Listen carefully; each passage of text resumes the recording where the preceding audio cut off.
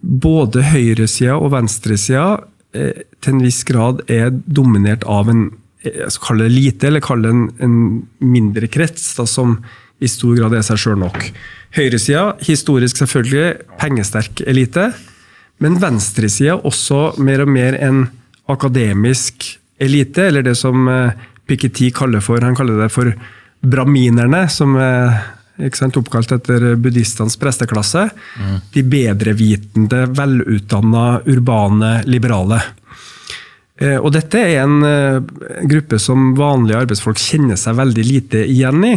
Faktisk så kan det være sånn at den akademiske arrogansen kan være mer utålelig enn en økonomisk arroganse, fordi at en vanlig arbeidstaker kan tross alt ha en bitte, bitte liten mulighet for å bli rik, mm. men vil aldri ha en mulighet for å bli akademiker eller anerkjent i den politiske og kulturelle kapitalen som, som de bedre stilte eh, klassene på venstresida i, i det her bildet mm. eh, har. Eh, og Dermed så føler man seg fremmedgjort. Man føler at man til og med blir sett eh, ned på. Og Dette er jo, tror jeg, forklaringa på hvorfor så mange mennesker med lite utdanning eller eh, dårlig økonomi stemmer på en person som Trump. For de føler seg riktig eller uriktig mer sett ned på av Hillary Clinton enn av Donald Trump. Og det er klart Når Hillary Clinton presterer å, å, å, å eh, gå hen og, på et fancy møte i, i et luksushotell på, til og med på Wall Street eh, og holde en tale hvor hun kaller eh, Trumps velgere for 'basket of deplorables', så har du på en måte Du egentlig avslørt hvor du står.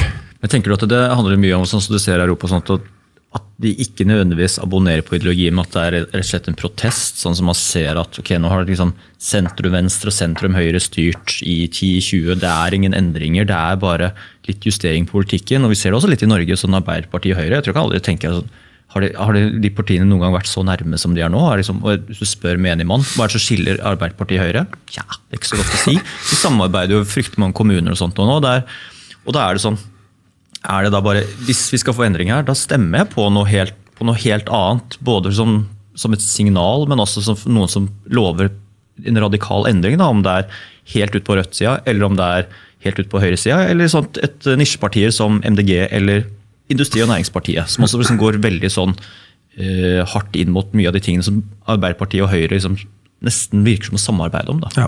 Det er to ting å si om det. og det, igjen, Dette er også egentlig et hovedprosjekt i boka. og Også prosjektet mitt, jeg skrev mastergrad her nå, eh, om, i statsvitenskap om velgeratferd. Punkt nummer én. Etter murens fall i 1989 og utover på 90-tallet eh, og 2000 så fikk du jo denne meget omtalte og beskrevne politiske konsensusen rundt det på en måte liberale, åpne markedsøkonomiske prosjektet. Fukuyama skrev 'The End of History'. Nå var vi kommet til utviklingas endepunkt. Dette eh, var noe som ingen annen ideologi, ingen annen retning kunne konkurrere med. Vi hadde funnet den samfunnsformen som ville vinne fram. Mm. Så ble egentlig 'End of History' også til 'End of Politics'. fordi at i og med at man hadde liksom lagt bort de, de, store diskusjonene om system og politikk og retning, mm. så var det jo ikke noe vits egentlig å drive så mye med politikk. Man kunne jo overlate dette til eksperter. Man fikk eh, outsourcing av alt fra selvfølgelig frie, fristilte sentralbanker, det var nok sikkert også fornuftig, men man fikk også i Norge fikk man helseforetakene, man fikk eh, ekspertsystemer som skulle styre dag-til-dag-avgjørelsene, og politikken abdiserte. Og hvis politikken abdiserer, så blir jo et politisk engasjement og politisk deltakelse og valg egentlig mer og mer uinteressant. For det er som du sier, da er det egentlig ikke noe forskjell på partiene. Da er det egentlig en stor systemkonsensus, og så er det litt sånn små justeringer underveis. Og det er det stort sett byråkrater som tar seg av. Og hvor mange ganger i løpet av en måned blir vi jo ikke fortalt i pressen at ja, men det er ikke vi som bestemmer strømpolitikken. Hvorfor skal strøm som produseres for 15 øre, selges for 3 kroner? Nei, Det får vi ikke gjort noe med. Det er markedet, det er Ukraina-krig, eller det er utenlandskabler, eller det er strømbørsen, eller det er et eller annet. Mm. Det er i hvert fall ikke politikk. Eh, boligmarkedet, hvorfor er det helt umulig for en person med vanlig inntekt nå å få kjøpt seg en eh, leilighet? Jeg vet ikke det, men det er boligmarkedet. Det er renter, og det er, det er prisstigning og det er sentraliseringspress og alt det her. Det er ikke noe som politikere styrer. en fødestue eller en akuttavdeling. Hvem er det som bestemmer det? I hvert fall ingen som velgerne kan bytte ut. Mm. Så på gang på gang på gang på gang blir det fortalt at politikk ikke virker, politikk har ikke betydning, det er ikke avgjort i politiske organ. Hvorfor i all verden skal du da gidde å gå og stemme? Ja. Det er jo et veldig godt spørsmål. Så var ikke politikken slutt likevel. Fordi du fikk et par sammenbrudd. Du fikk finanskrisa i 2009-2010. eh, Men egentlig uten noen vesentlige systemiske endringer. Du fikk bare reparasjon, eh, men business as usual. Så kom de to store sjokkene. Brexit i juni 2016 og Trump i november 2016. Det var egentlig slutten på 90-tallets breie liberale konsensus. Eh, Så politikk er tilbake, men venstresida er ikke tilbake. Og hvis du tenker over de høyrepopulistiske partiene, som jeg ikke er noen tilhenger av, hva er det de kommuniserer? De kommuniserer jo det minste en vilje til å forandre. De kommuniserer jo politikk kan faktisk brukes. Men har vi Du noen kan- høyrepolitiske partier i Norge? Ja, knapt nok. Du, jo, du, jo, du har jo hatt eh, Frp, da, men etter regjeringsprosjektet med, med Siv Jensen og Erna Solberg, så forsvant jo mye av det høyrepopulistiske ved dem. Og så- er jo Frp, i motsetning til mange av de høyrepopulistiske partiene ute i Europa, så er jo Frp et liberalistisk parti.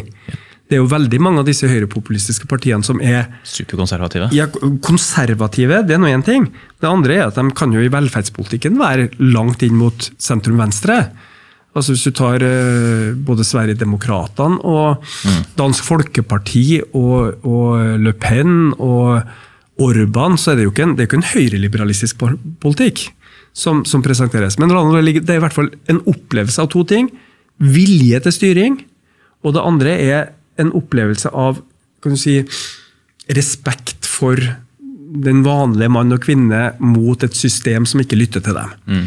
Da jeg tok mastergraden min, så brukte jeg en undersøkelse fra Kantar, hvor et av spørsmålene var, eller påstandene som ble sjekka, var "F- de som bestemmer, lytter ikke til folk som meg.